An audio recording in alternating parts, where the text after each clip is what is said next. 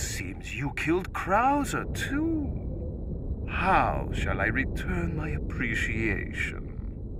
what are you talking? Verifica la presión de esa válvula.